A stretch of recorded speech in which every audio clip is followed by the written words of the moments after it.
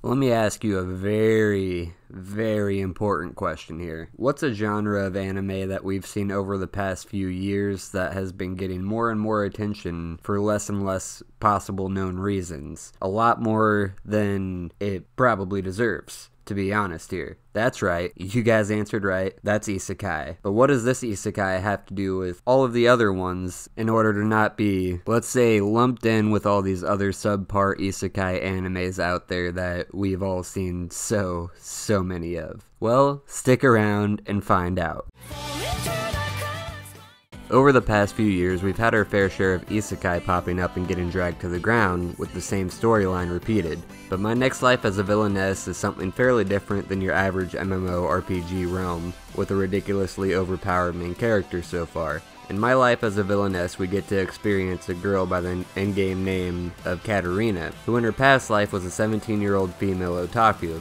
Living out her life trying to find ways around the ending of the game, she remembers playing that, as the title suggests, all routes lead to doom.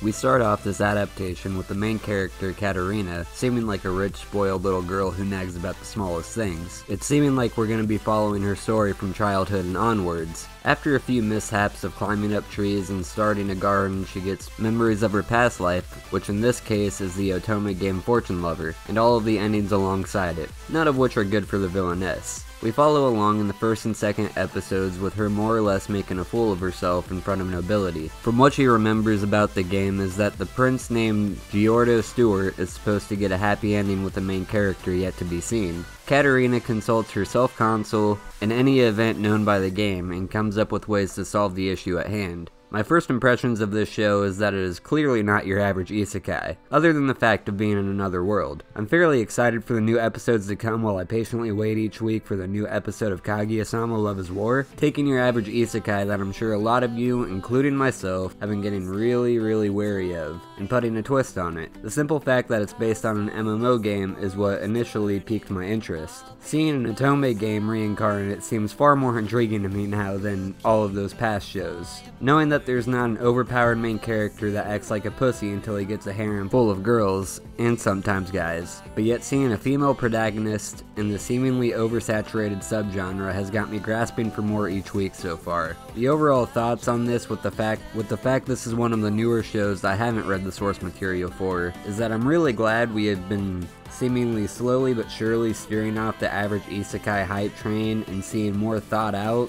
to an extent, material from this. It not only makes me excited for this season we're currently in, but also the seasons to come.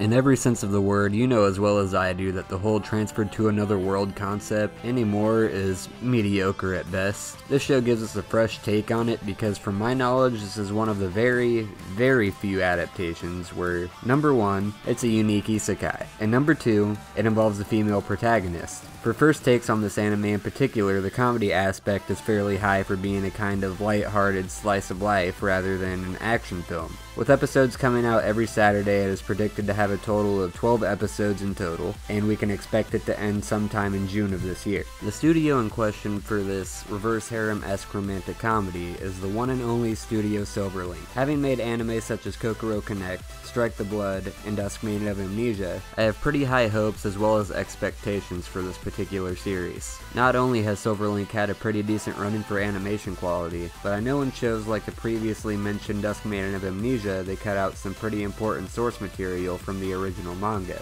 Let's hope and pray to our waifu god Haruhi that that won't be the case in this series, for all of the ones who have read the light novel of My Next Life as a Villainess.